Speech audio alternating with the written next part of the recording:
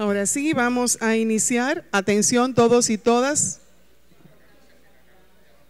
Vamos a iniciar nuestra última actividad formal del día de hoy.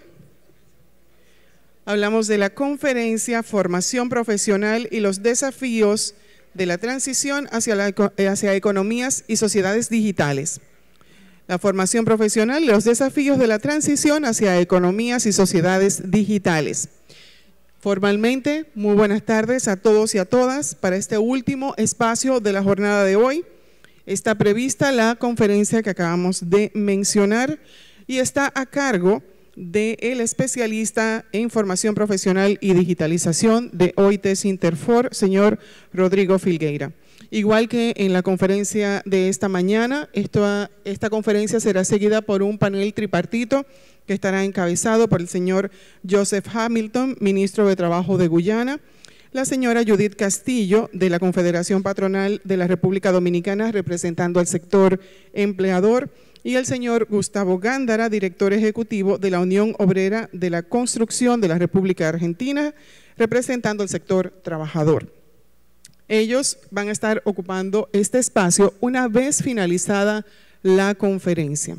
Así que vamos a dar paso de inmediato al señor Filgueira para que nos instruya sobre este interesantísimo tema.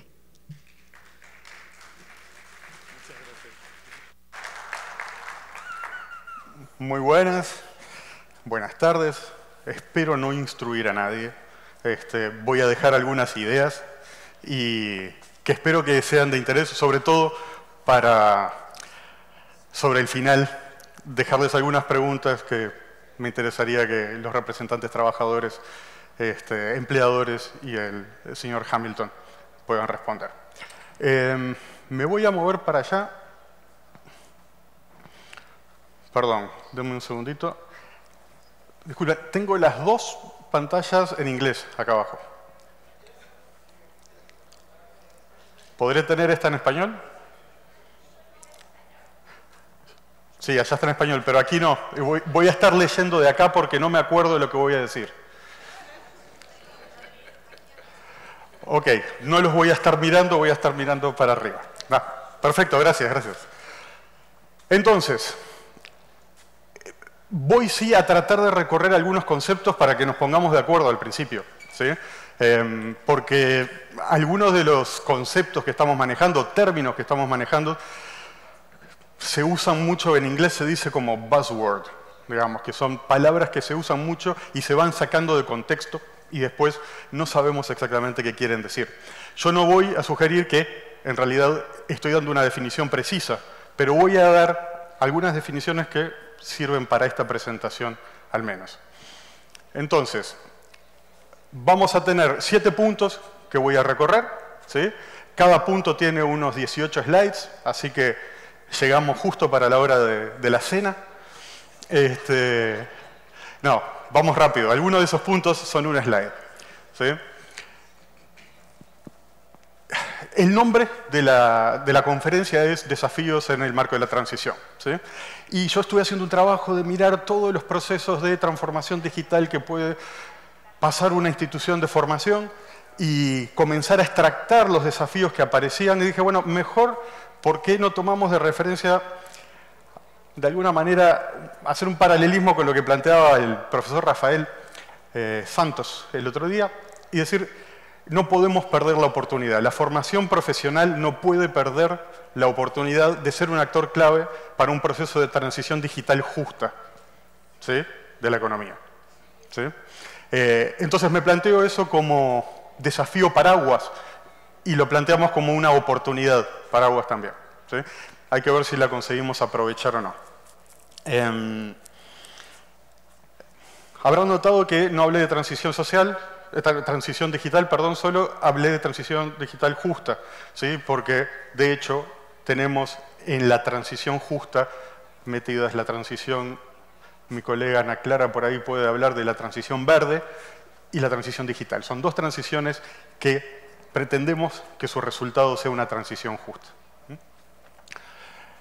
Ese gráfico que está ahí, y acá es donde voy a tomarme un ratito para explicar los términos, ese gráfico que está ahí tiene cuatro gráficos de lo que la gente busca en Google. es un sitio que se llama Google Trends y que te dice, básicamente les dice, eh, qué popularidad tiene un término en, términos de búsqueda. El que está arriba, el, que está arriba del todo es transformación digital, en, eh, en, inglés, eh, digital transition. Los que están abajo son transis, perdón, digital transformation. Los que están abajo, el que está más arriba, que también es en inglés, es sí, digital transition. Y los dos que están más abajo son en español. Acá se puede ver un poco más claro entre el 2010 y, el 2000, y actualmente, si no me equivoco, cómo se despegaron la búsqueda de términos por transición digital y transformación digital. Y esto resulta importante porque si ustedes ahora agarran su teléfono y hacen una búsqueda por transición digital, se van a encontrar con un montón de documentos que hablan de transición digital y en su primer párrafo o en su segundo párrafo empiezan a hablar de transformación digital. Se usan como términos intercambiables y a los efectos de esta presentación es importante distinguirlos. Entonces, abordar el desafío, ahora voy a explicar por qué, digamos, eh, abordar este desafío eh, de ser eh, clave en, en, este proceso de transición digital implica, ¿sí? para la formación profesional, cubrir dos frentes. Un frente externo, que es el mercado de trabajo, ¿sí? que y la sociedad en general, digamos, pero por lo menos el mercado de trabajo, que se ve afectado por la introducción de tecnologías ¿sí? y que generan un proceso, son los que generan el proceso de transición digital. ¿sí? Del lado interno, en el frente interno, los propios sistemas de formación profesional precisan transformarse digitalmente. ¿sí? Y ahí estoy usando los dos términos en, el mismo slide. Cuando miramos al frente externo, estamos hablando de abordar la transición digital. Cuando estamos mirando al frente interno, estamos abordando la transformación digital. ¿Parece muy bizantino esto? ¿Está muy complicado? No, ok, no debería serlo. Pero el punto es que la transición digital, esto es una definición adaptada del panorama laboral eh, del año 2021, adaptada, no la van a encontrar así, ¿sí? pero habla de los impactos económicos, sociales, ambientales de las tecnologías digitales que se manifiestan en la cantidad, lo están leyendo todos, ¿no? en la cantidad del empleo, la productividad, las relaciones entre empresas, personas. ¿sí?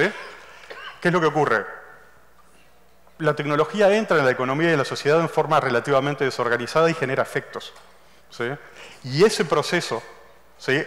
Es lo que voy a llamar de transición digital, que es un proceso, que es un fenómeno global, pero con efectos diferenciados en lo local, nacional o regional. Eh, hoy, en la presentación de la mañana, eh, desde la CEPAL, eh, se insistía muchísimo en mirar estos procesos de productividad vinculados a lo local. Entonces, la transición digital es un fenómeno global, pero que hay que mirarlo desde los diversos alcances que podemos manejar. Es el conjunto de, transiciones sociales y económicas disparados por el uso de tecnologías digitales. ¿sí? ¿Por qué es el conjunto? ¿Por qué le llamo un conjunto? ¿Por qué no le pongo orden? Y no le pongo orden por una razón bastante simple, porque no ocurren en orden. ¿Sí? En cualquier sociedad vemos que hay sectores de la población, sectores económicos que comienzan a digitalizarse y transformarse antes que otros, generan efectos de spillover, eh, generan efectos de demanda, ¿sí? Pero no es un proceso o un fenómeno coordinado, como dice el último punto. ¿Sí? Me detengo, me, salté un punto, ¿sí? y que también es importante. Cuando se considera la sociedad y la economía como, como un todo, debería decir, el proceso es gradual. ¿sí?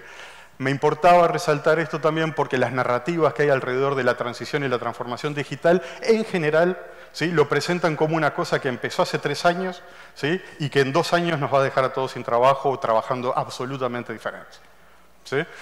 Es un proceso gradual, desordenado, y que vamos a ver que tenemos eh, coincidencias con las sociedades donde creemos que esto pasa en forma eh, mucho más rápido o donde pasa más rápido y así todo tenemos este, coincidencias. ¿Por qué no es coordinado? ¿Sí? Porque es difícil coordinar a todos esos actores. Ahí tienen por lo menos 10 actores que influyen de una u otra manera en el proceso de transición. Está la educación y la formación por ahí, pero si uno dijera, bueno, eh, ¿cuál es la primera señal de la masificación del chat en el teléfono?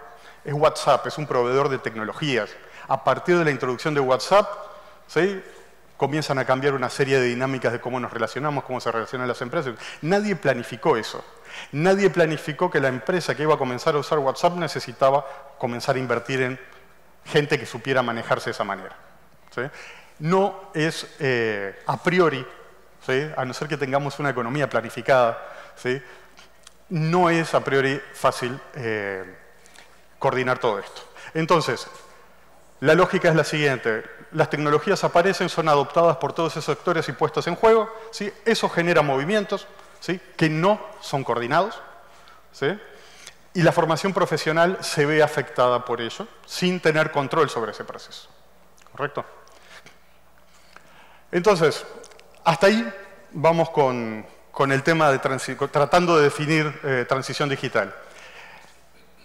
¿Cuáles son las promesas? ¿Sí?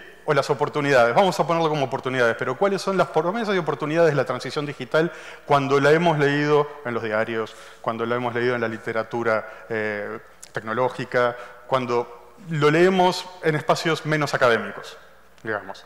La mejora de la productividad es una. ¿sí? Si incorporamos tecnología vamos a mejorar la, la, la productividad. ¿sí? No se dice explícitamente, pero hay un supuesto de que va a haber automatización. ¿Sí? O sea, la ganancia en productividad no se da solo porque las tecnologías digitales me permiten crear nuevos productos. ¿sí? Se da por un proceso de automatización también y sustitución de, tareas. Y el otro es la inclusión.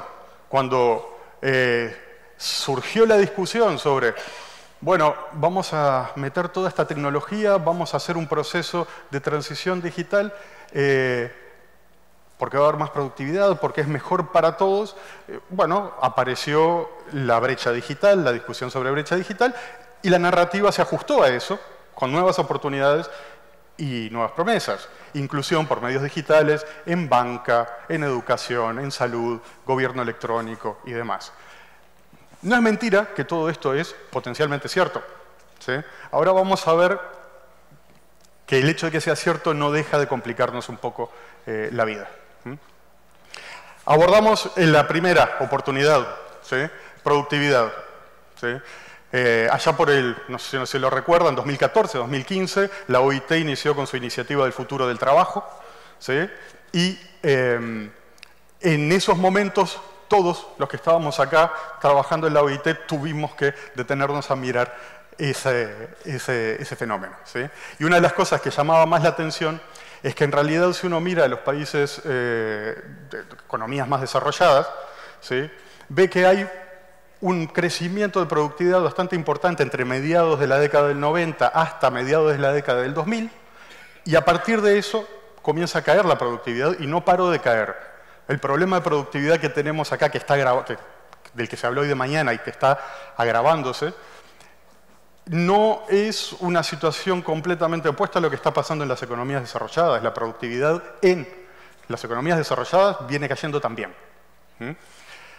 ¿Y cómo es que viene cayendo? Porque en los modelos clásicos teníamos capital, trabajo, incorporábamos tecnología y mejorábamos productividad.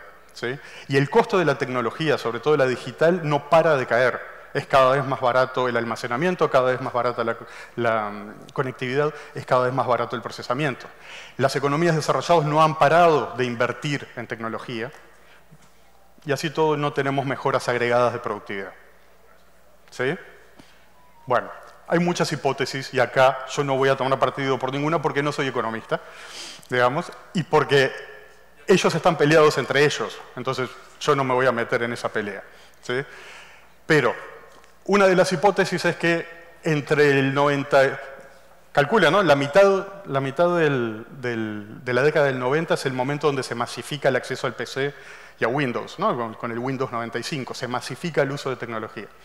Eh, y se comienzan a masificar una serie de procesos de escritorio, de oficina, de trabajo. Lo que algunos teorizan es que excelente, está en español acá. Lo que algunos teorizan ¿sí? es que en ese periodo se recogieron los beneficios fáciles de recoger. En inglés le dicen el low hanging fruit, la fruta que está al alcance de la mano. ¿Sí? Bien, es una hipótesis. Una vez que se recogió el low hanging fruit, como por ejemplo comenzar a mandar correos electrónicos que requiere de habilidades relativamente simples, ¿sí? Eh, comenzaron a aparecer demandas de uso de tecnología que requieren otro tipo de habilidades. Em, un, economista que usamos bastante de referencia, que se llama Eric Brynjolfsson, propone lo de la curva J de productividad. Dice, todas las tecnologías tienen una caída en términos de productividad al principio, pero después levantan. Esto Brynjolfsson lo decía en 2004, 2005, no, un poquito después, y acá estamos en el 2023 y la curva de productividad no avanza. La forma de medir productividad, Brynjolfsson también es parte de esa, de esa escuela, dice que en realidad la forma en que medimos productividad eh, en base a producto bruto dividido cantidad de horas trabajadas no representa todas las transacciones que se dan en la economía digital. O sea, todo lo que estamos pudiendo hacer con herramientas que aparentemente son gratis no está siendo capturado por la lectura de producto bruto. Podría ser, si no lo estuviéramos capturando, en realidad estamos mejorando en términos de productividad, pero no lo vemos. Falta de talento o competencias. Este es un punto bastante en el que se insiste bastante. En realidad, si estamos en la lógica de que resolvimos todos los problemas simples, ahora necesitamos gente que pueda resolver problemas complejos. Y eso requiere de otro nivel de cualificación, de calificación, de cualificación, perdón. Pero lo que sí ocurre cuando uno mira los estudios más a nivel micro, no agregado, es que hay evidencia que cuando se invierte en tecnología mejora la productividad de la empresa. Hay que ver cómo se invierte, pero cuando se invierte sí. Entonces, los dos gráficos que están ahí, el de arriba refiere a la caída de productividad en los países desarrollados y la de abajo compara las empresas del top 5 más tecnológico con respecto al resto de las empresas, en términos de productividad. La hipótesis, una de las hipótesis, es que las empresas que efectivamente consiguen hacerse del talento necesario, y además tienen capacidad de inversión, y además están en sectores dinámicos, consiguen disparar su productividad, que son los gráficos punteados, o consiguen aventajar a los demás en términos de productividad, que son el gráfico punteado. Las empresas estamos hablando del 95%, el resto de las empresas, ¿sí? quedan, se distancian en términos de productividad y no se recuperan. Em, son muchas las variables que pueden estar jugando. Una de ellas en esta teoría es la falta de acceso a gente capaz de poner en juego las tecnologías como se debe. ¿Mm? El otro punto que les mencionaba era el tema de inclusión. Em, acá les hablaba de mejora de productividad por un lado y de inclusión en el otro. La paradoja de la productividad es una observación sobre esa promesa que no parece eh, concretarse del todo. Y después está el tema de riesgo de exclusión a partir de la automatización, el, eh, el desplazamiento de trabajadores de calificación media, y esta es un poco la historia, la hago muy cortita eh, Daron Acemoglu, que se llama El Economista, en el 99 nota una cuestión que llama polarización del mercado de trabajo, donde aparentemente están creciendo los salarios y la demanda por ocupaciones de baja calificación y de alta calificación, y se van perdiendo, eh, va bajando la, demanda por calificación media. Cualificación media Autor, David Autor en el 2003 mira eh, ese asunto en forma y confirma. Y después no sé quién se acuerda, ¿Quién no escuchó la noticia allá por el 2014-15 de que el 47% de las ocupaciones en los países eh, desarrollados iban a ser automatizadas? No se acuerdan. Sí, Fernando se acuerda. Gracias, es un colega, eso es un colega.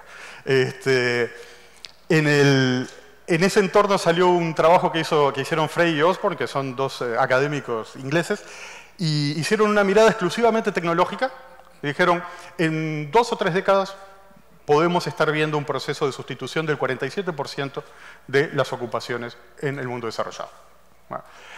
Ellos en el propio documento dicen, esto es una mirada exclusivamente tecnológica, no estamos hablando de todas las otras variables que influyen en este problema. Pero los diarios aprovecharon el 47% y nos contaron que en cualquier momento nos quedamos sin trabajo. Lo que es interesante este, en, este, en este escenario es que Frey Osborne también al final hacen una mirada para ver qué niveles de cualificación son los que efectivamente se ven, no se ven afectados por la automatización según su estudio. Y son los niveles de cualificación alta, que tienen capacidad de adaptarse a los cambios de la transición. Después le viene una crítica fuerte al enfoque de, Frey Osborne, seguramente porque alguien dijo no pueden dejar a esta gente decir que el 47% de los empleos van a ser sustituidos. ¿sí? Y la crítica vino por el lado de decir, bueno, ustedes están mirando ocupaciones eh, y no deberían mirar ocupaciones porque las ocupaciones están eh, quebradas en tareas. ¿sí? Eh, están compuestas de tareas y hay que mirar esa composición para tratar de entender qué es lo que pasa.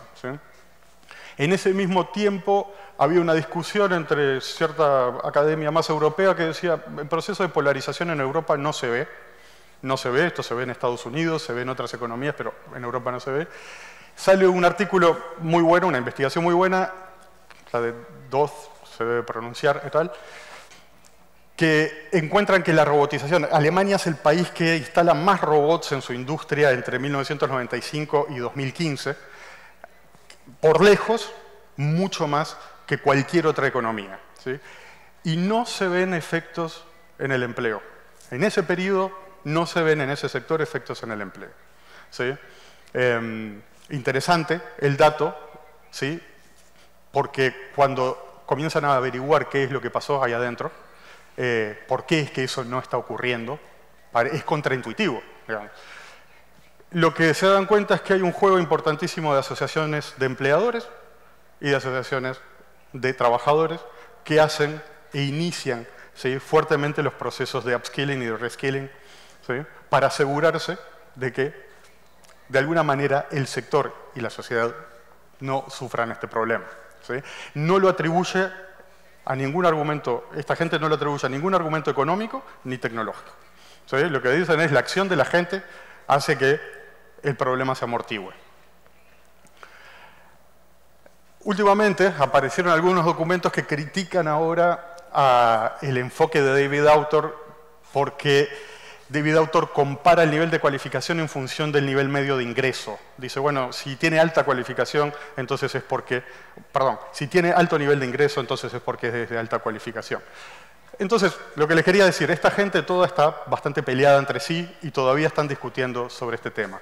Lo que sí parece haber acuerdo es que el desplazamiento de algunos puestos de trabajo, sobre todo de nivel eh, de, tipo rutinario y de cualificación media, se deben a la automatización en cualquier caso. Pero un proceso de automatización mucho más largo, mucho más largo que aquello que parecía que había ocurrido entre el 2010 y el 2015.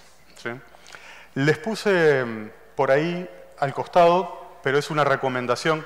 Hay un documento recientemente publicado por la OIT que analiza el efecto de la inteligencia artificial generativa, que está de moda ahora, los chat GPT, los DALIs y demás.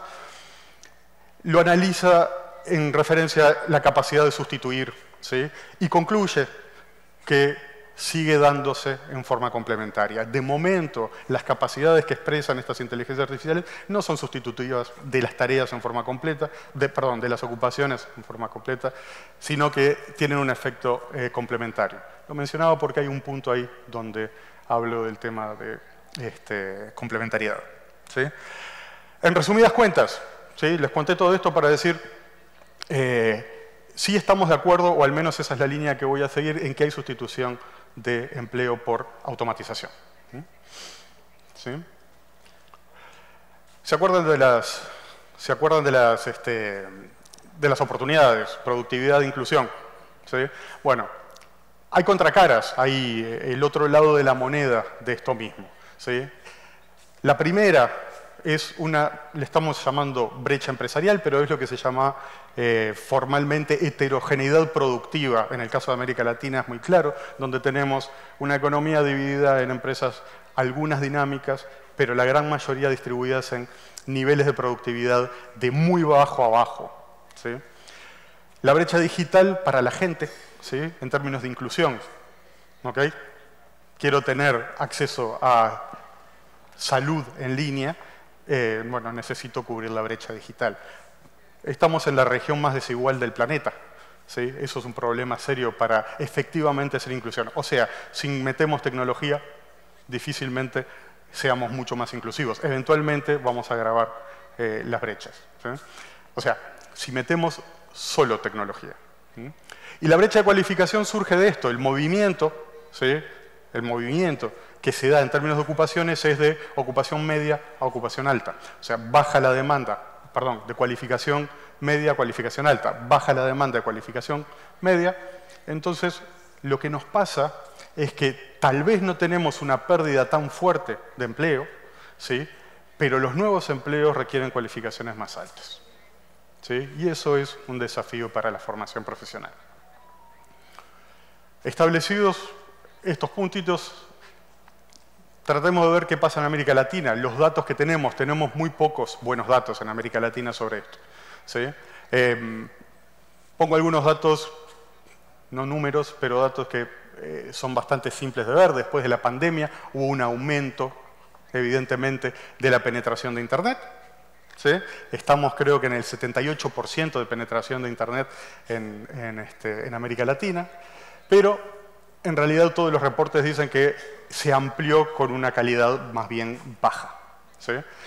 Es un servicio costoso. Digamos que la ampliación que se dio en términos de acceso durante la pandemia no resuelve el problema de la brecha digital.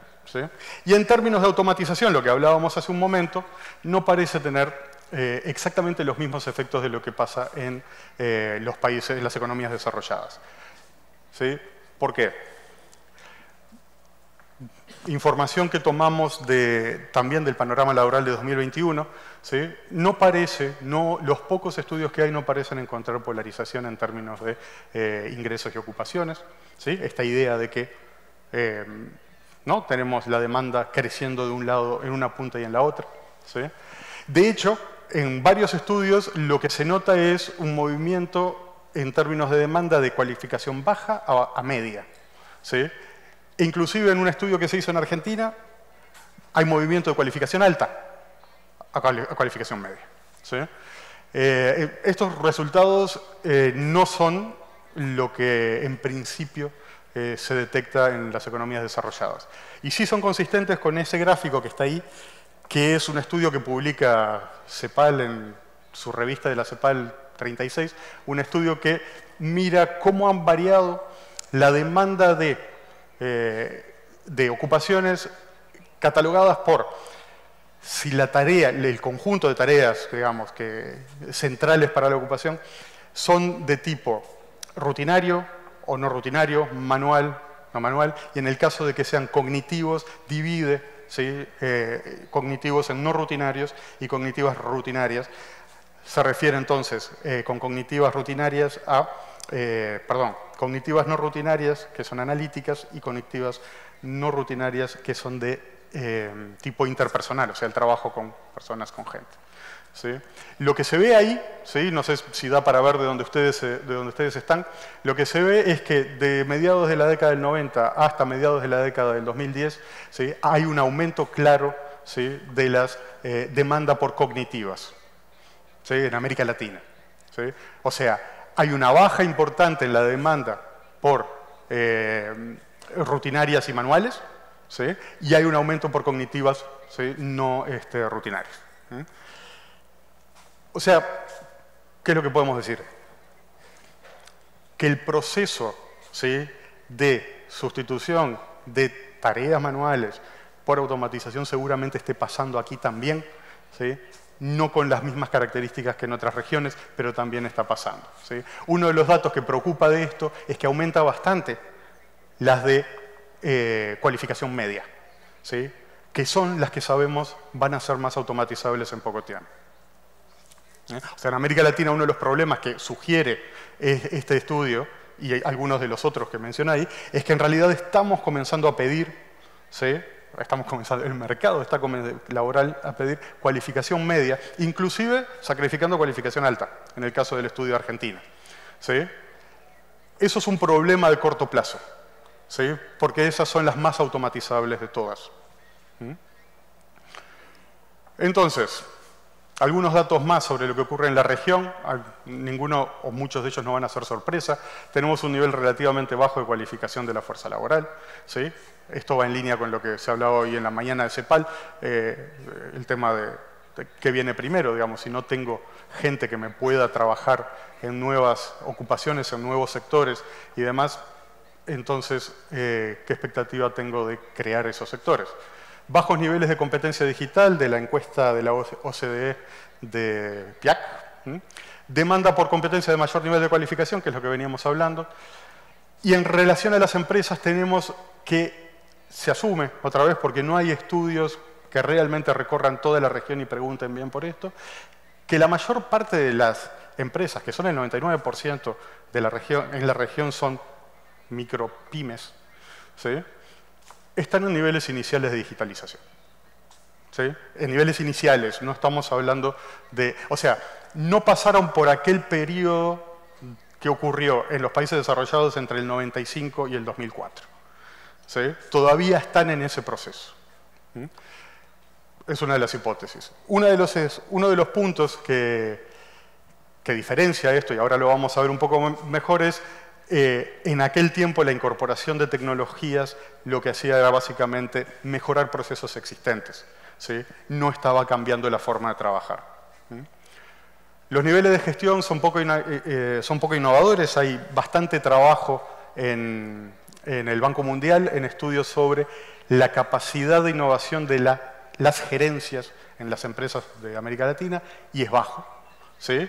Entonces, eh, no solo no tenemos las condiciones porque no hay gente, digamos, con la calificación, sino que además los estamentos de las empresas que deberían promover estos cambios no tienen intención de hacerlo. Demanda por competencias blandas, nosotros desde Sinterfor sistemáticamente lo identificamos, nos lo dicen en todas las instituciones y las instituciones nos dicen que las empresas lo están pidiendo. Lo que no queda claro ¿sí? en este caso es si esa demanda por competencias blandas son para la economía digital, ¿sí? tratando de diferenciar dos cosas. Una cosa ¿sí? es cuando incluimos algunos elementos actitudinales dentro del perfil de competencia, y otra cosa es cuando pretendemos desarrollar competencias que van a ser necesarias en nuevas formas de organizar el trabajo. Eh, esto se podría desarrollar muchísimo más. Pero básicamente lo que estamos distinguiendo que no tenemos claro es si la demanda del mercado de trabajo está pidiendo una persona responsable, por ejemplo, cuando dice, bueno, como característica, responsabilidad se le está pidiendo responsabilidad para con el reglamento de trabajo o para con sus colegas en un esquema de trabajo en equipo. ¿Sí? La palabra es la misma, le decimos responsabilidad y representan dos modelos de organización muy diferentes, uno jerárquico y el otro más horizontal.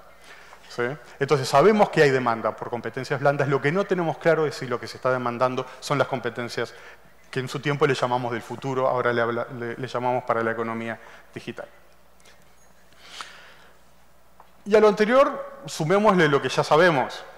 Tenemos una brecha una grande, una gran heterogeneidad productiva y altos niveles de desigualdad social.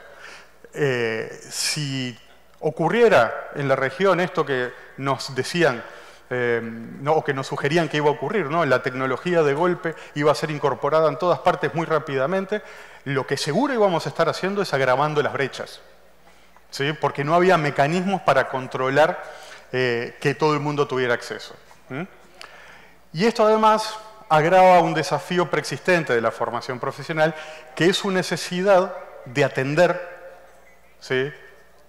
todas las economías que coexisten de muy baja productividad a alto dinamismo en, el, país. O sea, cuando tenemos que atender poblaciones vulnerables y al mismo tiempo formar técnicos que están trabajando en empresas exportadoras insertadas en ¿eh? cadenas de suministro internacionales, es un trabajo muy duro para las instituciones.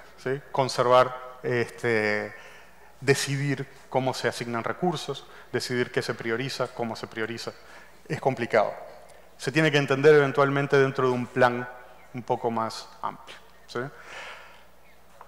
Eso lo robé del, eh, panorama laboral de 2021, donde refieren a Presbich, eh, desde la CEPAL, que decía que el cambio técnico en la región es lento y desigual, y no dejó de serlo, eso se decía en los años 40, el cambio tecnológico en América Latina sigue siendo lento y desigual. Los desafíos que estamos viendo se parecen a los de los países desarrollados. Los países desarrollados detectan que no tienen gente, detectan que hay un corrimiento hacia niveles de cualificaciones más altos, ¿Sí? Bien, pero no tienen las brechas que tenemos. ¿Sí? O sea, el problema es resolver, uno de los problemas, uno de los desafíos, es resolver esto ¿sí? en un escenario de altísima desigualdad y heterogeneidad productiva. ¿Mm? La transformación digital, entonces yo les voy a proponer una mirada estilizada ¿sí? para utilizar la, la transformación digital como marco de referencia para pensar algunas cosas. ¿Se acuerdan que veníamos hablando de transición digital? Le decimos no es lo mismo que transformación digital. La transición es lo que ocurre en el medio, en el contexto, ¿sí? y la transformación digital ¿sí? es el resultado de abordar las oportunidades y amenazas de la transición digital. ¿sí? O sea, vamos al ejemplo más simple, ¿se acuerdan de los diagramas eh, FODA? ¿sí? Que teníamos fortalezas, debilidades, oportunidades y amenazas. ¿Por qué se va a transformar digitalmente una organización? ¿Para qué? ¿O para aprovechar una oportunidad que el contexto le da? ¿O para enfrentar una amenaza que el contexto le impone?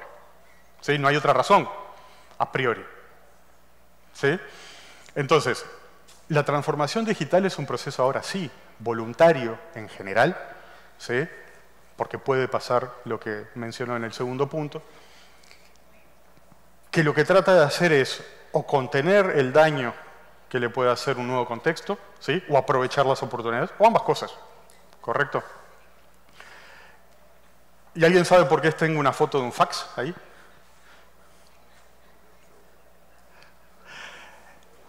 El ministro de Tecnologías y Digitalización de Japón le declaró la guerra al fax el año pasado, 2022 o 2021. En Japón se sigue utilizando el fax muchísimo.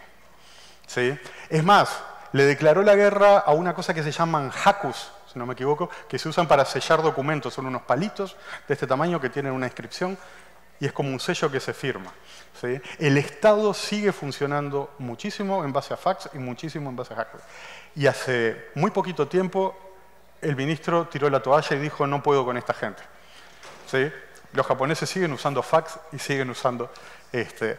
Lo pongo como ejemplo porque una empresa que tiene que intercambiar documentación con el Estado va a tener que poner un fax.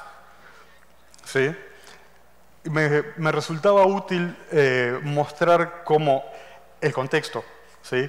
hace que nosotros reaccionemos en términos de transformación digital o en este caso eh, ir en dirección opuesta a lo que el mundo está yendo. ¿Quién lo diría? No? Japón es el país si yo hubiera preguntado, ¿les parece un país en transición digital avanzada? Claro. Sí, bueno, el fax sigue estando ahí. ¿Es un proceso coordinado o no? Y esto eh, importa referirlo porque en la medida que no generamos capacidades para enfrentar los cambios que nos impone la transición digital, vamos a ser exclusivamente reactivos. ¿sí? Y nuestra capacidad de transformarnos seriamente digitalmente se va a ver comprometida. ¿sí? Eh, es importante pensar entonces en cómo hacemos para apropiarnos de las tecnologías y que no nos sean simplemente eh, impuestas. Bueno, ese era un punto para establecer el tema de transformación digital como una respuesta a la transición digital.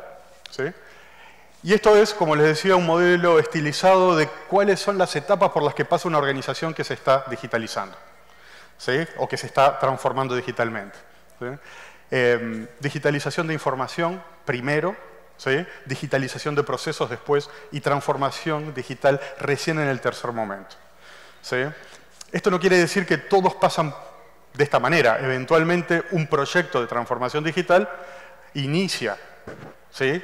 la definición de procesos digitales y de digitalización de información al mismo tiempo. Digamos, puede ocurrir.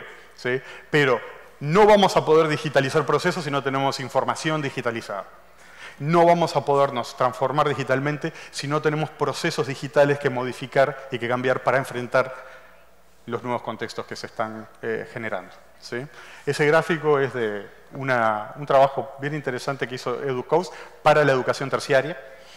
Una encuesta, se las recomiendo porque vale la pena para identificar dimensiones de análisis del proceso de digitalización educativo. Entonces, tenemos tres elementos, eh, tres etapas que deberíamos no necesariamente hacer en secuencia, pero sí cumplir.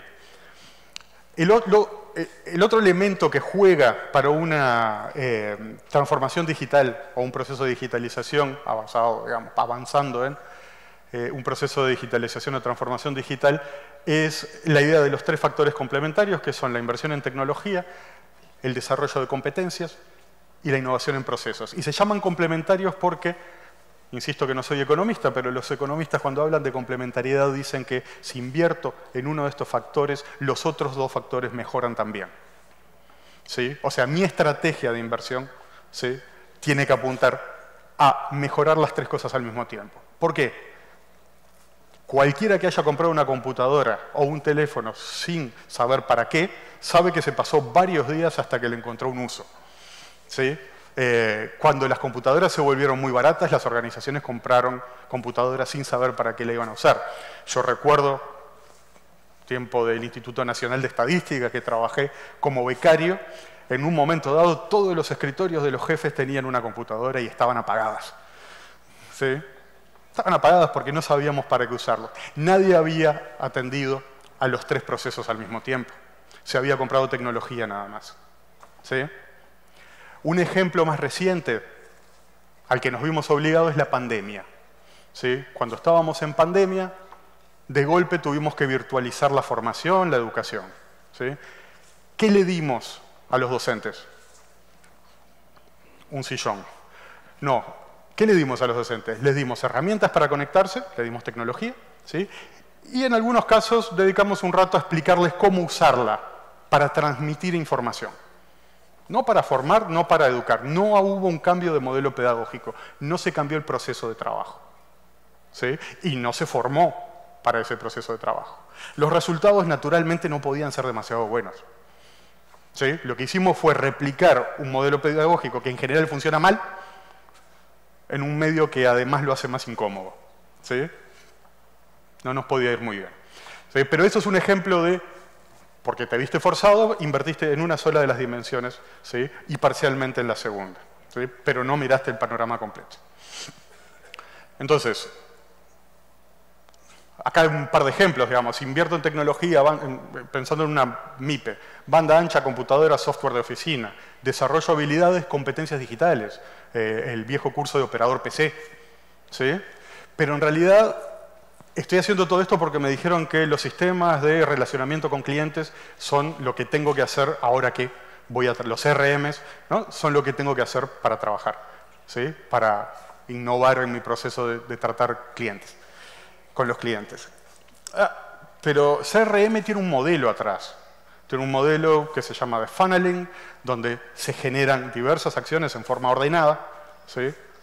para acceder eh, ¿cómo es que se dice? Ah, loyalty. Asegurar que los clientes vuelvan. Lealtad. Sí, pero hay otro término. Fidelización. Fidelización. Gracias igual. Gracias, compañero. Este, si ponemos competencias digitales para operar la computadora, tenemos la computadora y queremos hacer CRM sin un modelo, alguien pensando cómo se trata con los clientes en base a un modelo nuevo, entonces no, atendía todas las variables. Me está faltando algo. Me está faltando algo. Y eso es una de las grandes diferencias entre las etapas iniciales de digitalización, donde yo agarro y digo, en lugar de llevar el papel en mano, lo mando por fax y después lo mando por correo electrónico, y hacer un proceso de transformación digital donde efectivamente cambio la forma de trabajar. Necesito modelos. Em, Gustavo, Gustavo Leal del, del Senai hoy nos decía que el proyecto que tienen para trabajar digitalización en la industria, pequeñas y medianas empresas en, en Senai, se propone al principio simplemente dejar instalado el modelo Lean ¿sí? en las fábricas y es un modelo conceptual que, como él mismo decía, es del año eh, del siglo pasado. ¿sí? Eh, entonces, insisto, para el proceso de transformación digital necesito prestar atención a estos tres factores. ¿sí? Y acá surgen em, dos oportunidades, podemos decir, o desafíos para la formación profesional. ¿sí? El desarrollo de competencias parece bastante obvio. ¿sí? Tenemos una demanda de desarrollo de competencias. Y en la innovación de procesos tenemos otra demanda de competencias, que pega en dos lugares. La primera es en la gestión. ¿Quién va a autorizar, identificar un modelo y aceptar que la organización cambie su forma de trabajar? Es la gestión. ¿sí? Y volvemos al trabajo del Banco Mundial que decía no tenemos gestores muy innovadores en América Latina. ¿sí? Entonces, esa es una. Y después, la otra claramente, una vez que alguien decidió cambiar el modelo, necesito que el personal también sepa lo que es un proceso CRM. ¿sí? Esto impone también una demanda importante, un desafío importante a las instituciones de formación. ¿sí? Es diferente enseñar a utilizar tecnología que enseñar un modelo de gestión de, clientes.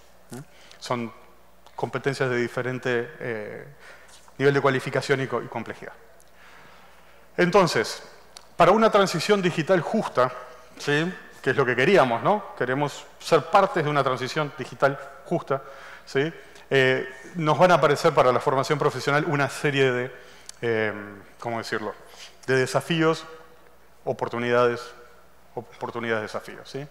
El primero, esos gráficos que están ahí, eh, son del informe de Juventud 2020 de la OIT, donde en un estudio de 31 países de la OSD y 13 países de fuera de la OSD detectan que la formación profesional es de los modelos, de los sistemas, perdón, dedicados a la formación y la educación, el que forma más para tareas automatizables. ¿Sí? Es un dato complicado.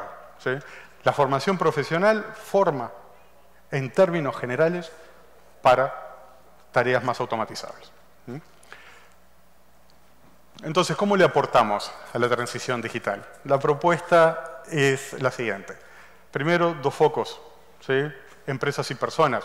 El modelo donde nosotros formamos gente y simplemente la ponemos en el mercado de trabajo, eh, alimenta fuertemente, alimenta fuertemente las desigualdades. ¿sí? Las empresas que están en mejor posición de seleccionar personal se van a quedar ¿sí? Con el personal más calificado. Vamos a estar agravando el problema de heterogeneidad productiva.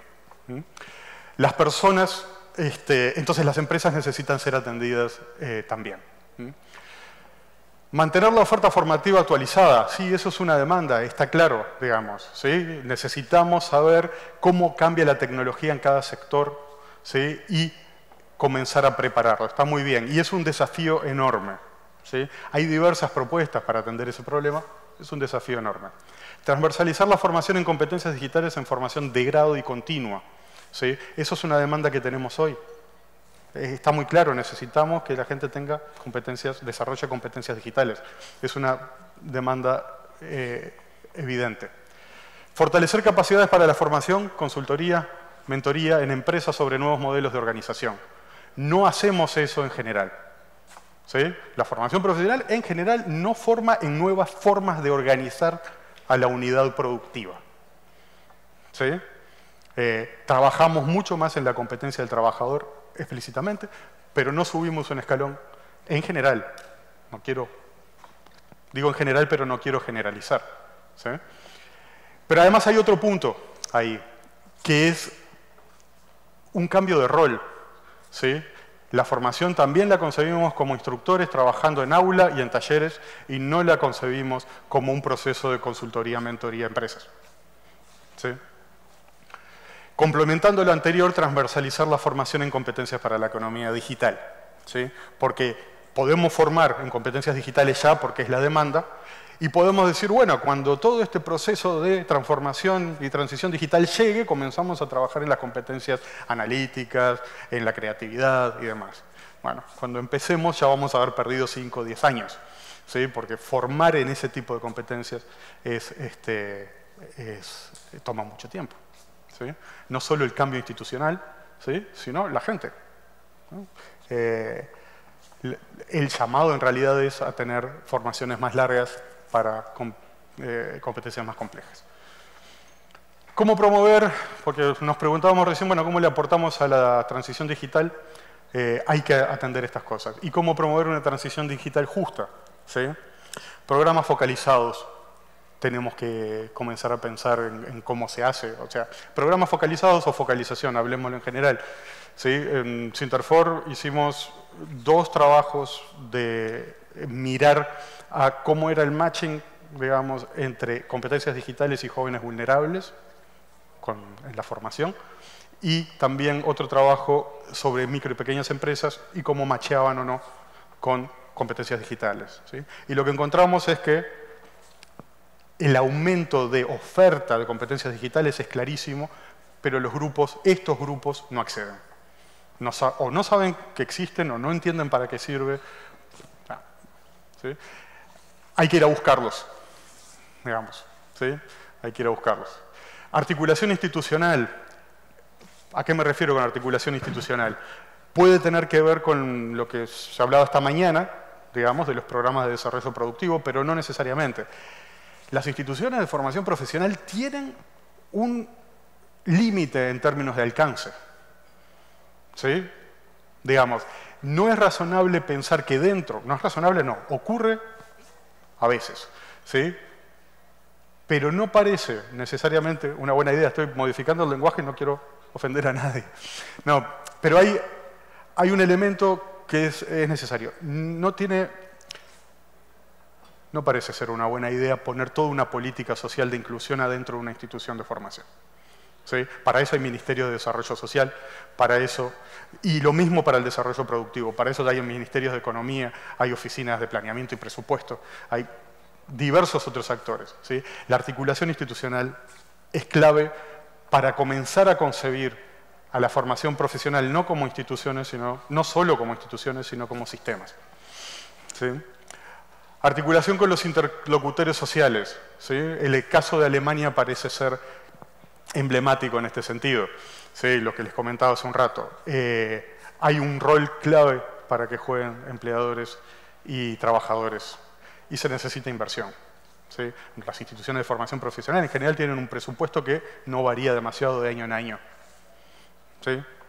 A priori.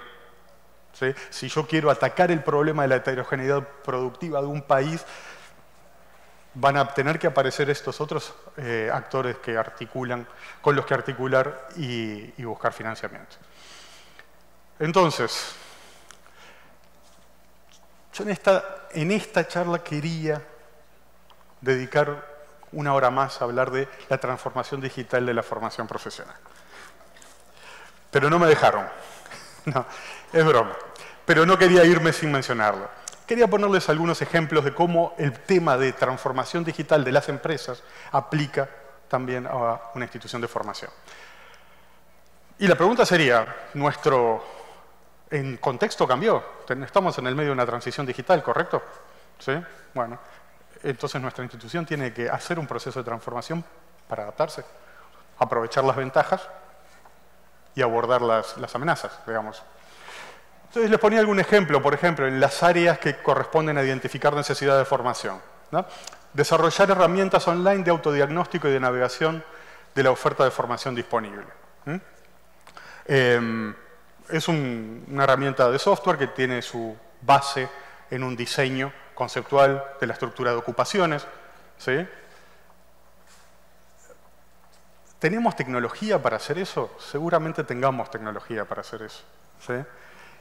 ¿Tenemos las competencias para hacerlo y usarlo? Eventualmente sí, aunque es un proceso nuevo, ¿sí? en muchos casos. Pero sobre todo, ese proceso de autodiagnóstico donde una empresa o una persona elige en función de información que nosotros le proveemos qué es lo que va a hacer y por qué lo va a hacer, es un proceso que tenemos institucionalizado. En algunos casos está comenzando a aparecer, pero eso requiere un cambio en la forma que entendemos nuestro trabajo, en la forma que ofertamos. Es un cambio de procesos.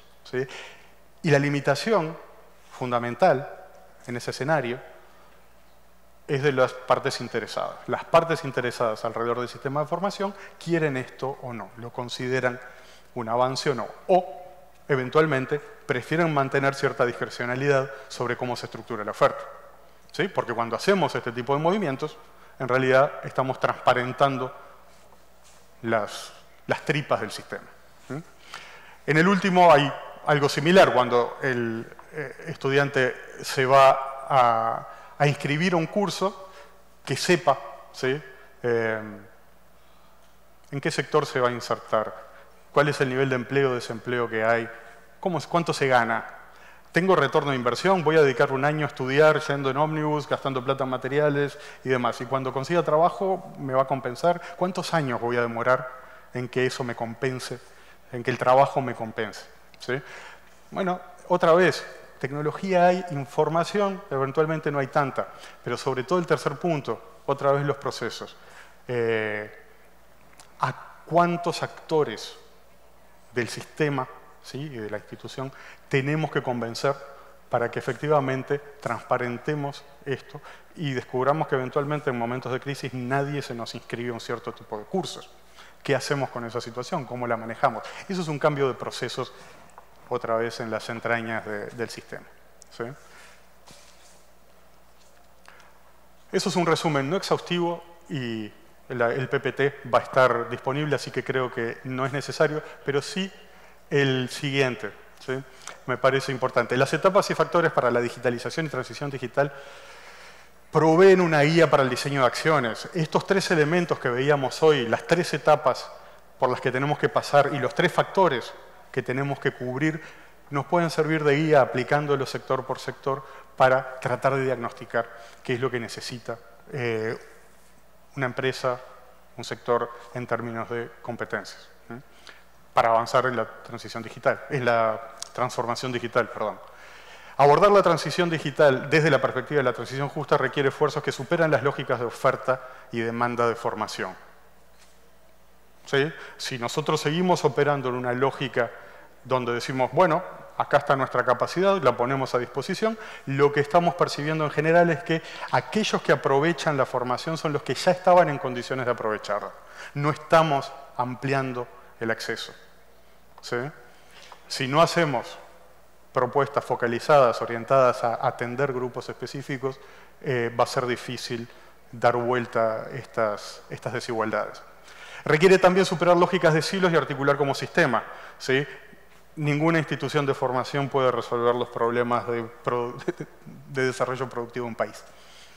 Simplemente no es lógico poner, o de inclusión de un país, ¿sí? no es lógico ponerlo esa responsabilidad y es central entonces que los demás actores articulen. Finalmente, para... ¿Estoy muy, ¿Estoy muy atrasado? ¿Sí? Ay, caramba. Bueno, igual ahora le voy a dejar la responsabilidad a los que vienen a comentar, así que no va a ser más... Quiero dejarle algunos dilemas ¿sí? que, que nos genera esta situación. La primera es cómo apoyarse y no depender de los proveedores tecnológicos, no lo mencioné a lo largo de todo el curso, ¿sí? pero hay un avance de las empresas de tecnología ¿sí? de diversos tipos eh, que en alguna medida parecen tener la capacidad de sustituir la función de, formación. ¿sí? La segunda es cómo ofrecer futuro si el presente no lo demanda y cómo invertir en presente y el futuro al mismo tiempo. ¿sí? Tenemos muy claro que en algunos años vamos a necesitar competencias para la economía digital y tenemos muy claro que necesitamos ahora un conjunto de competencias. Ahora bien, si el sector, si las partes interesadas que nos están demandando en este momento no visualizan el futuro, ¿cómo argumentamos para formar docentes, cambiar modelos operativos, cambiar modelos pedagógicos? ¿sí? Espacios para la innovación en organizaciones que conocen bien su métier, digamos. Eh, yo tuve la suerte de poder hacer talleres sobre formación basada en proyectos, que es una de las cosas que me interesa mucho, y cada vez que iba a parar a algún lugar, los docentes levantaban la mano y decían, eso nosotros ya lo hacemos. ¿Sí? Eh, eso es parte de la cultura eh, institucional, ¿sí? y no ocurre solo con los docentes. ¿sí? Entonces, ¿cómo generamos espacios para que efectivamente la innovación eh, no quede sujeta a cómo debería ser el día a día? o como ya es el día a día. ¿Y cómo hacer clave la transición justa sin liderarla? ¿Sí? Esa me parece que es una pregunta importante, decir, bueno, desde dentro de la institución, desde dentro de una institución de formación profesional, eh, ¿cómo hago para que cuando alguien decida ¿sí? Hacer un plan de inclusión o alguien decida, me cuente como un socio clave? ¿Qué es lo que tengo que ofrecer? ¿O es un derecho que tengo por nacimiento? ¿sí? Algo tengo que poder mostrar. Y eso sería todo.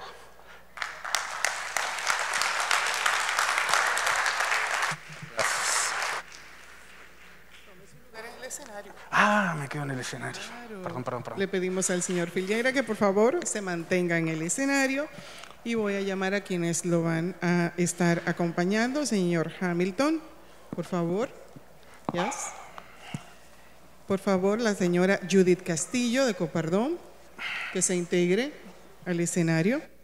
Y el señor Gustavo Gándara.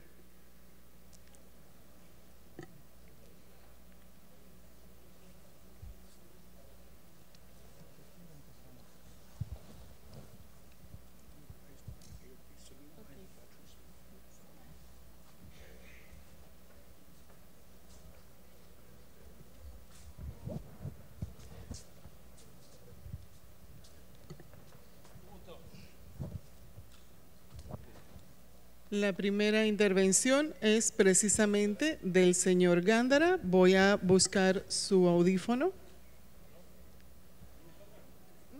Ah, perdón, no, no, no, señor Hamilton.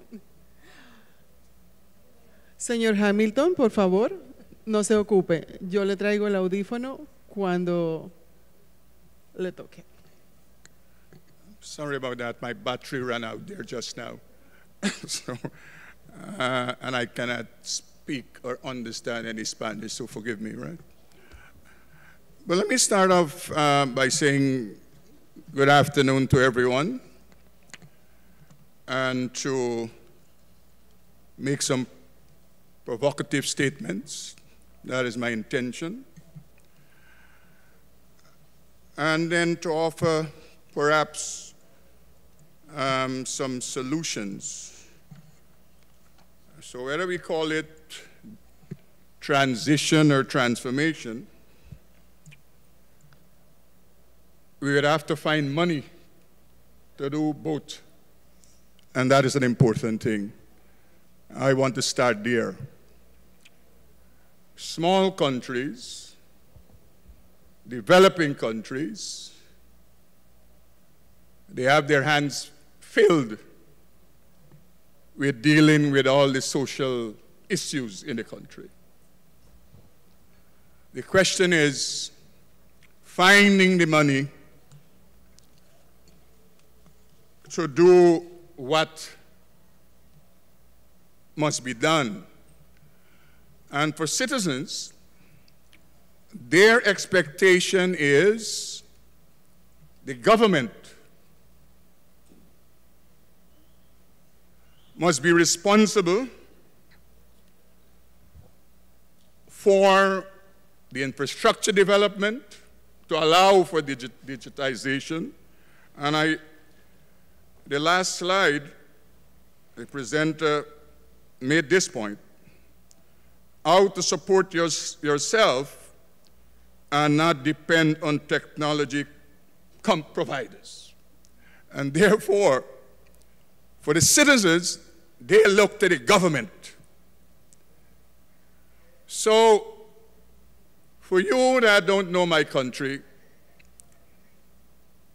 most of the people in Guyana live on the coast. uh, just about one fifth of our country is populated. We have a large expanse of forest. Some 90% of our country is forested. The only country that has a larger percentage is Suriname. In the interland and the riverine communities, people live miles from each other in the same village. And so, whilst you talk about connection, you might be able to connect a village of 2,000 in a rural community, for the same cost of connecting two villages in an indigenous community. But the services must be equal. That is the expectation of the citizens wherever they reside. And so, when we talk about digitization, we must pay attention to some important things in my view. Is first and foremost, and many speakers spoke to it, education delivery within our societies play a pivotal role in preparing the workforce for the demands of the digital era. We must foster an environment that encourages innovation that was just spoken to by embracing new forms of educational delivery. And I think one of the fundamental issues in developing countries is that the educators, they have not yet read the memo.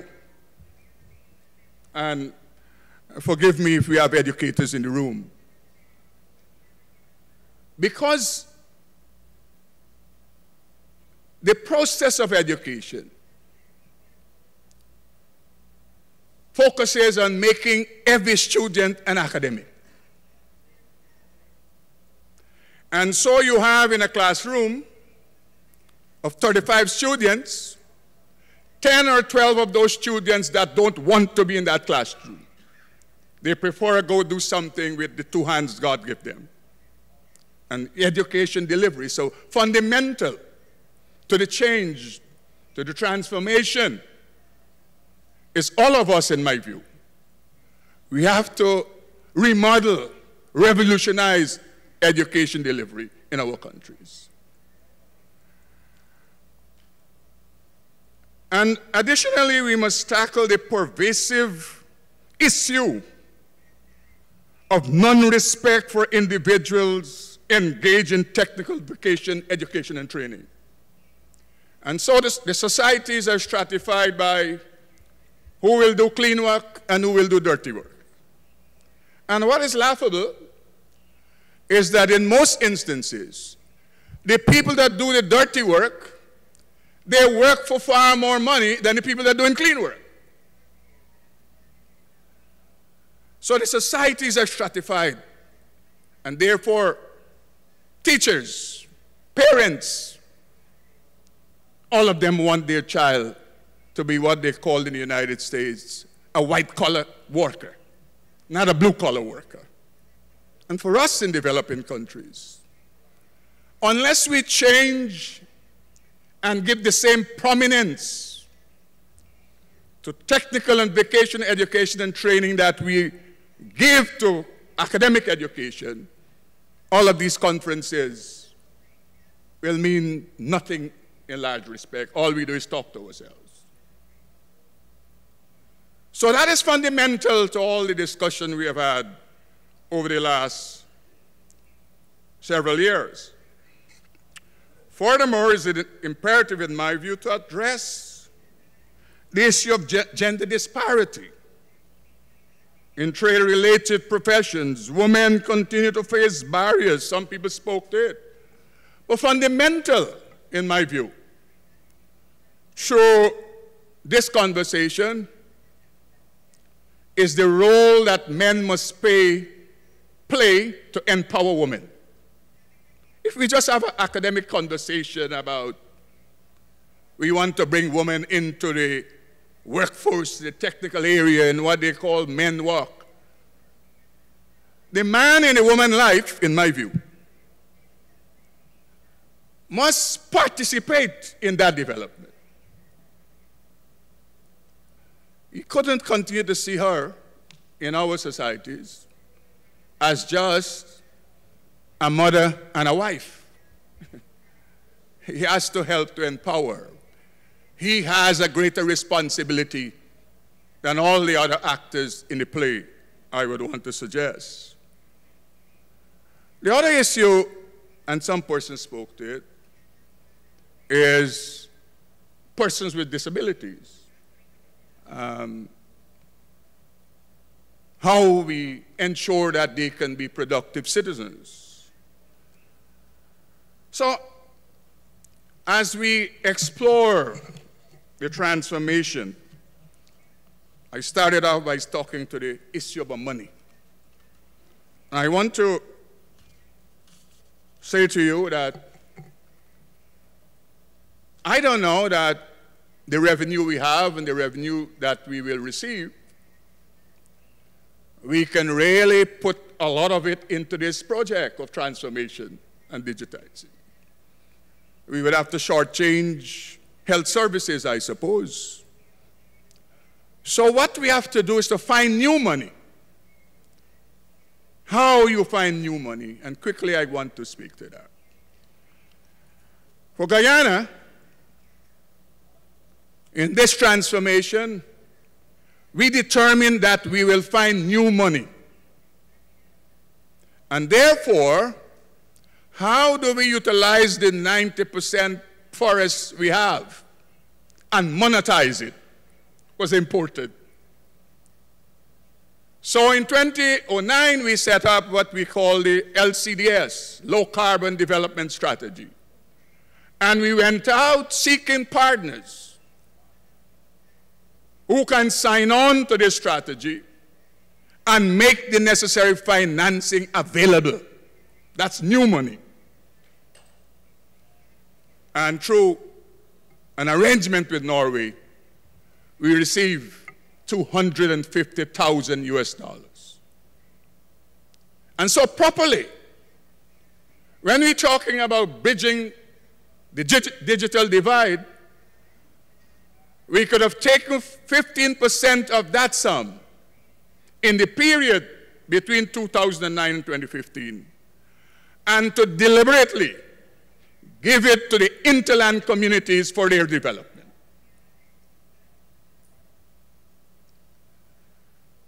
And we didn't stop with Norway. We continue to speak to the matter. And many of you, I'm sure, you know the discussion about car carbon credits. I would say to you, Guyana is the only country with a forest cover that so far we have been able to receive 1 billion US dollars over the period.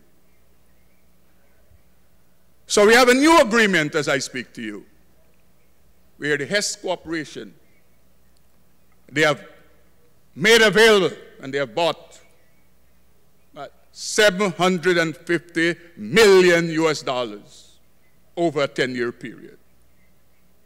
So I'm putting that to the, to the conference to make this point that as a government, you will be hard pressed to take the money away from social services and uh, run into digitization. So we have to find new money. You have to find new sectors uh, that perhaps we never even thought about, that money could be made in those sectors.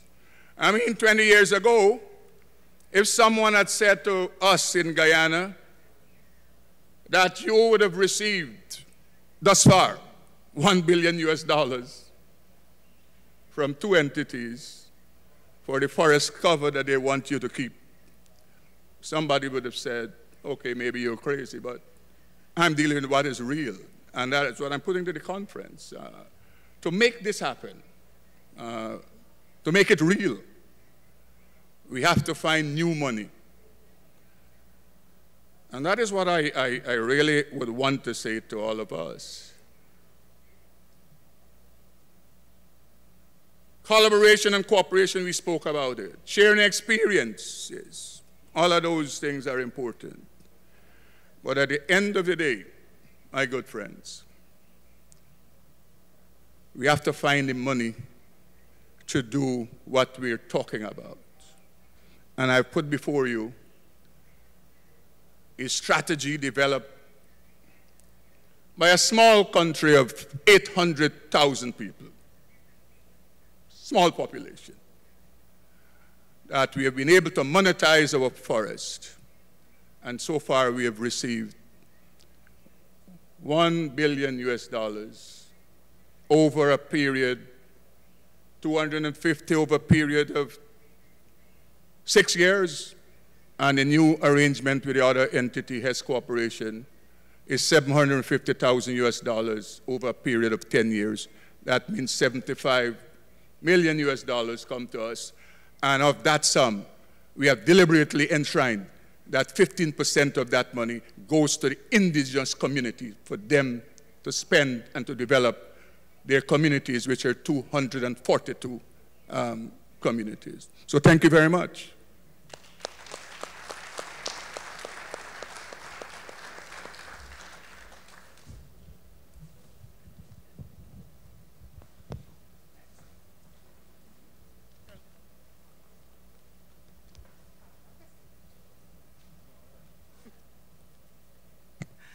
Ahora sí, podemos continuar para que nos pueda escuchar correctamente el señor ministro de Bahamas, ministro de Trabajo, señor Joseph Hamilton. Agradecemos su participación aquí.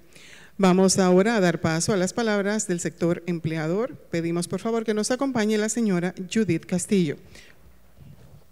Un fuerte aplauso para ella.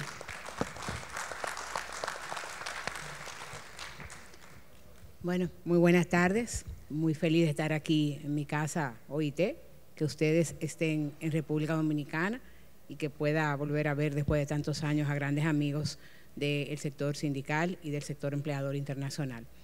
Y la verdad que este tema me apasiona muchísimo eh, porque todos hemos tenido que vivirlo muy de cerca, sobre todo en ocasión de la pandemia, donde todos nosotros tuvimos que emigrar a la virtualidad y nuestros hijos universitarios o escolares también tuvieron que hacerlo. Y me permito, a partir de la excelente presentación eh, del expositor del día de hoy y de la intervención del ministro de Trabajo, eh, dar algunas pinceladas. Primero, eh, cuando pienso en transformación digital y el desafío de la digitalización, pienso también en el equilibrio que tiene que darse entre ese, esa virtualidad y ese mundo real, porque no sabemos en qué momento nos corresponderá un rol 100% virtual, un proceso de educación digital, o cuándo tendremos que volver a las aulas y a las enseñanzas ordinarias. Y quizás a las nuevas generaciones, ese es el mensaje que tenemos que estar enviándole, que no pueden irse totalmente a un esquema de virtualidad o de digitalización o de herramientas digitales, sino que tienen que irse siempre a los planes B eh, que nos enseñaron nuestros padres y que no sabemos al final eh, qué nos tocaría como profesionales. Lo otro importante es el acceso digital.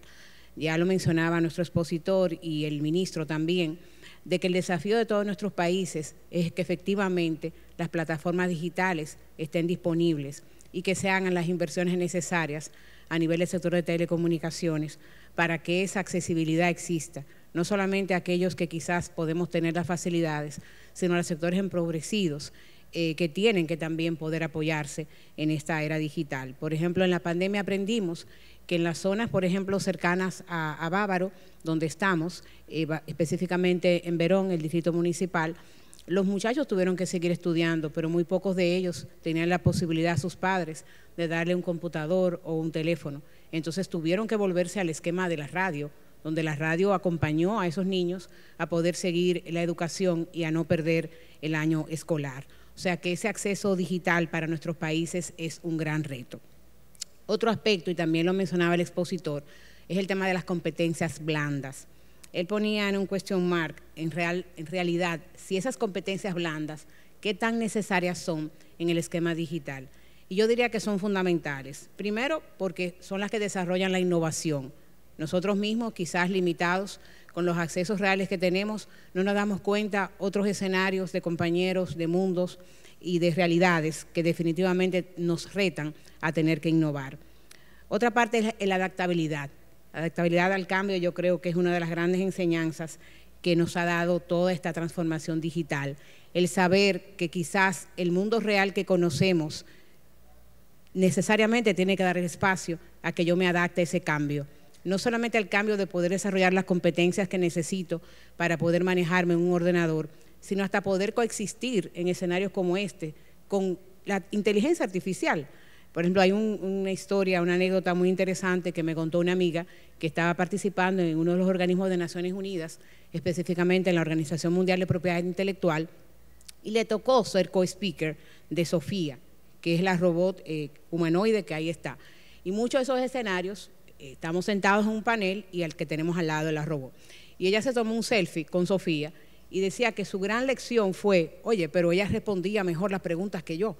Entonces, uno lo piensa dos veces, quizá, quizá para estar eh, con un humanoide al lado en un panel, pero sin embargo eso es parte de adaptarse al cambio, a repensar inclusive la forma de ver las cosas y a romper los paradigmas que nosotros tenemos como seres humanos.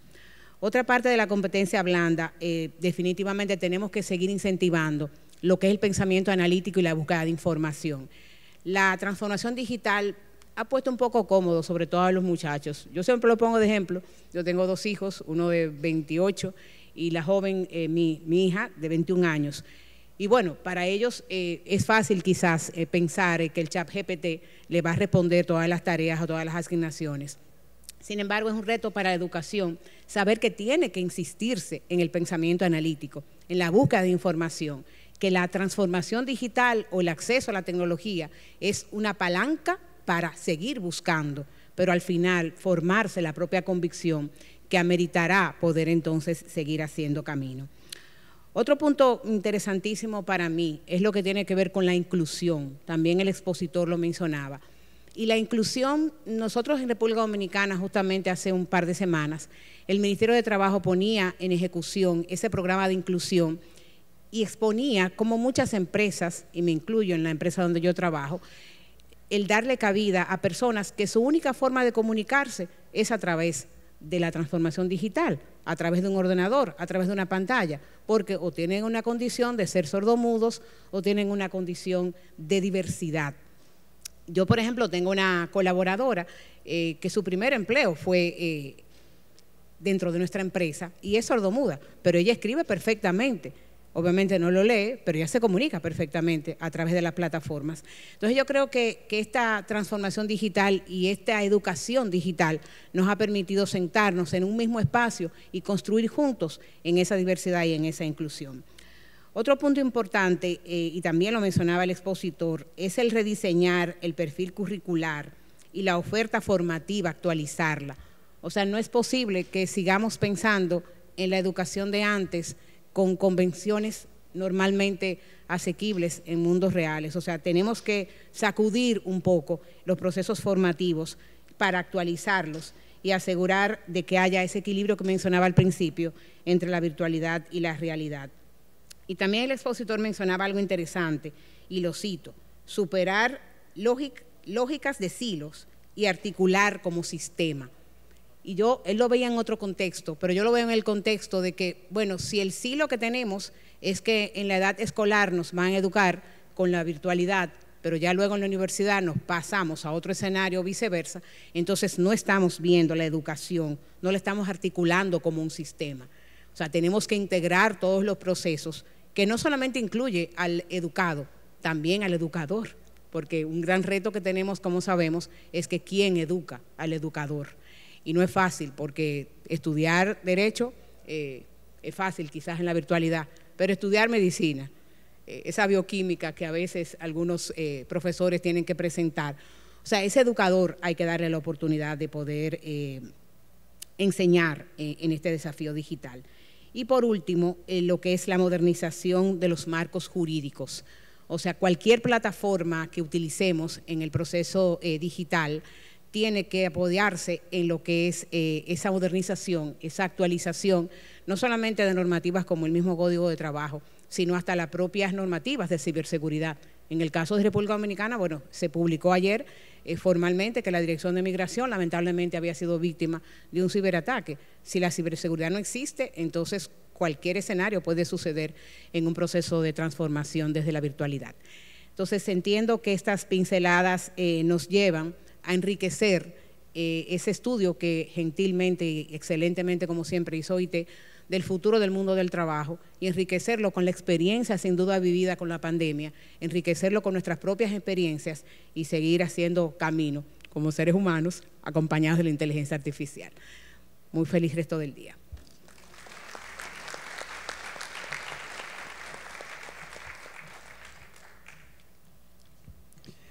Muchísimas gracias a la señora Castillo. Vamos ahora a dar paso a quien representa al sector trabajador, señor Gustavo Gándara.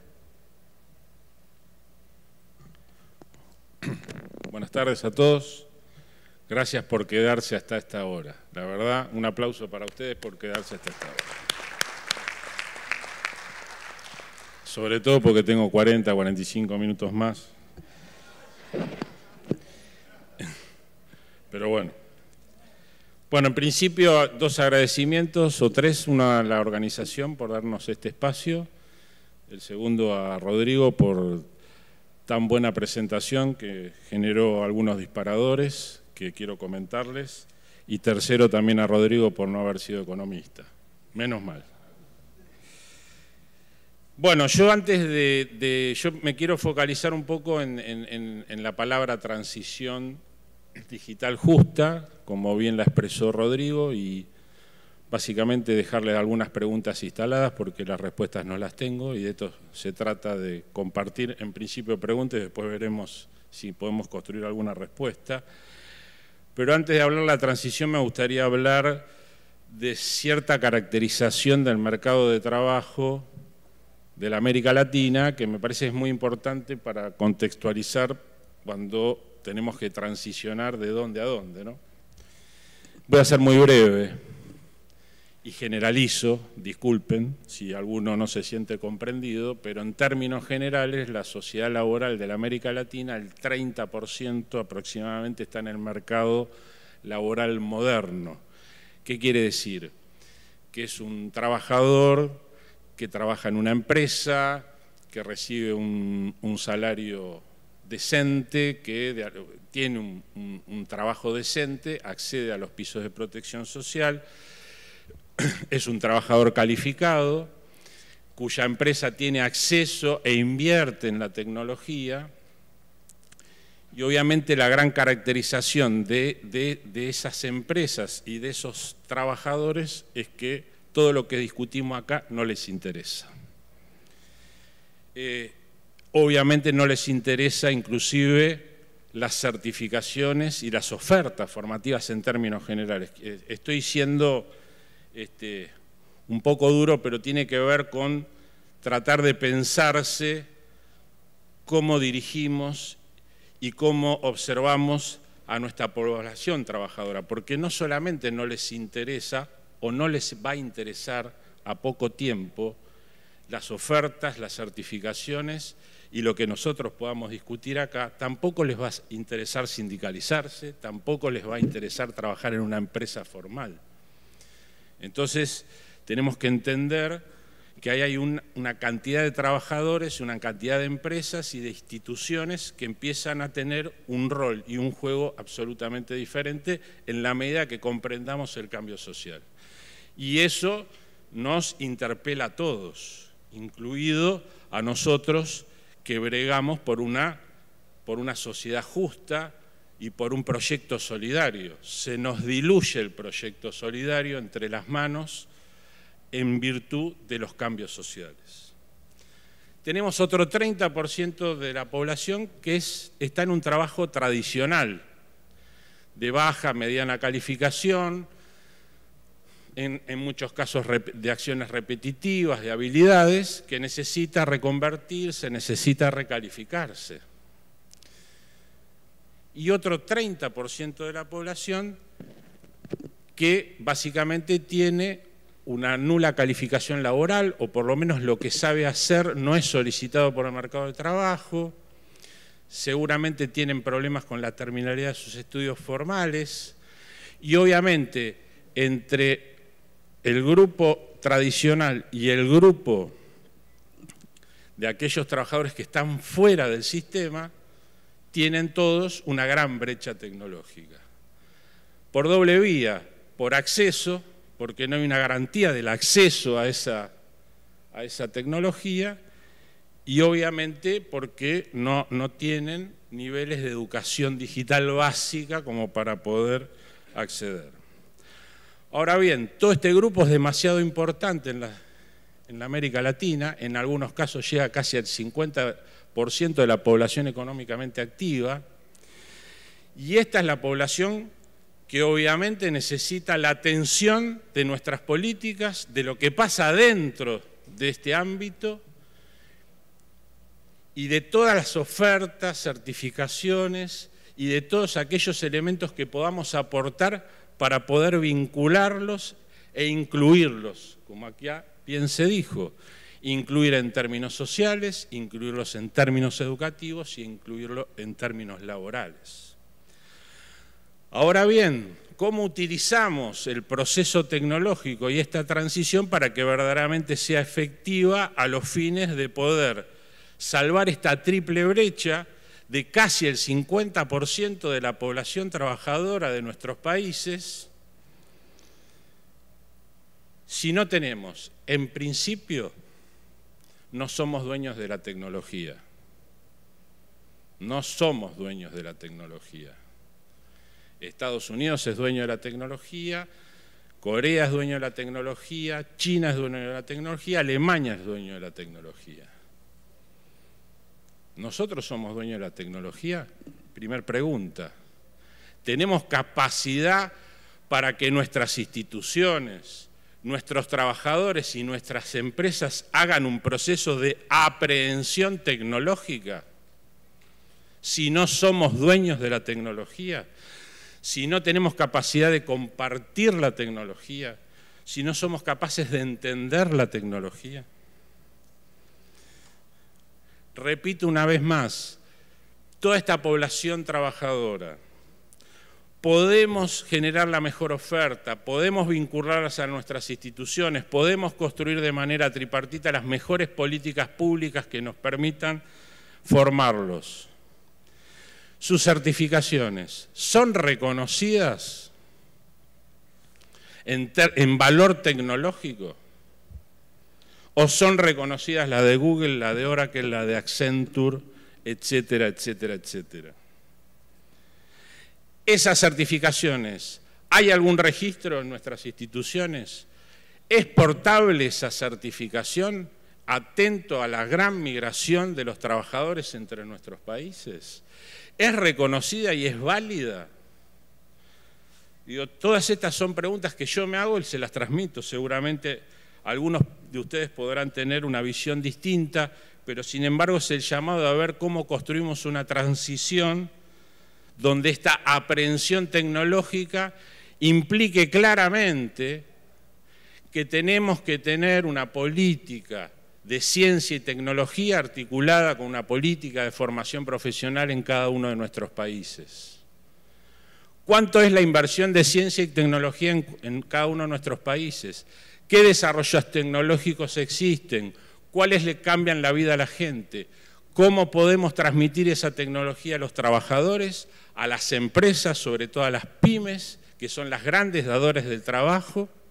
y que hoy no tienen acceso a un crédito o a un desarrollo tecnológico para poder pasar la frontera de esta mirada tradicional a una mirada más moderna.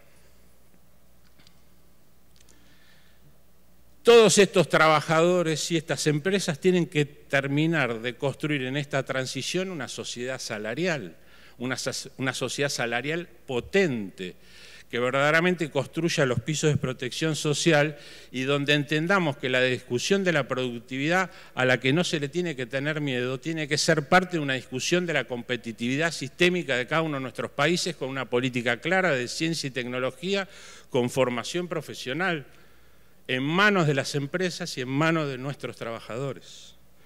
Porque si tenemos competitividad sistémica, tendrán las empresas mayor productividad y los trabajadores tendrán mayor calificación, mejor salario y mejores condiciones de trabajo.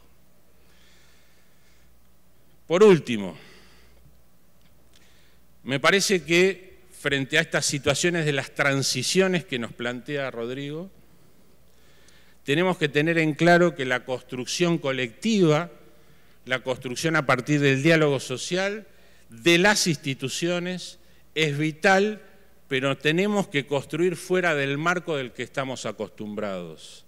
Salgamos del cuadro típico, del rectángulo, del cuadrado, tenemos que ser innovadores, porque no solamente la palabra es integrar, sino que es integrarnos y ser innovador fuera del cuadro. Tenemos que construir nuevas fases que nos permitan construir solidariamente un acceso a la, cuestión tecnológica que vaya más allá de los medios. Y termino con una simple anécdota. Nosotros hicimos desde nuestra organización sindical un programa de formación de realidad virtual. Nos prestaron los equipos, conseguimos un financiamiento, como creo que hacemos todos en esta sala, y la única idea era hacer cierta sensibilización tecnológica. Pero nosotros fuimos un paso más allá. Incorporamos la realidad virtual en la oferta formal, formativa de los centros de formación donde 200 trabajadores pasaron por una oferta de formación profesional donde incluía las componentes de realidad virtual. Ahora bien, el software era alemán y sale 100 euros por mes poder acceder a esas salas. Cuando nosotros accedimos a las salas nos dimos cuenta de que esa tecnología no era apta para la formación profesional. Entonces nuestros docentes armaron las salas y lograron un impacto concreto en la formación profesional real de un espacio virtual. Se lo mostramos a la empresa. La empresa dijo, oh, no sabíamos que este software que habíamos desarrollado tenía esta gran utilidad. ¿Cuál fue la respuesta? les dejamos usar, no nos paguen el fee mensual por cada alumno para que entre a la sala, siempre y cuando nos den las salas armadas para que podamos producir. Excelente. Los alemanes siguen siendo dueños de la tecnología. Gracias.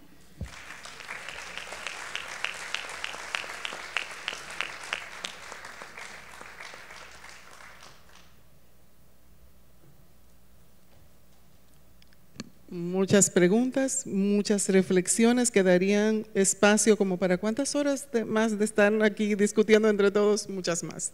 Eh, pero debemos llegar al final de nuestra agenda del día de hoy.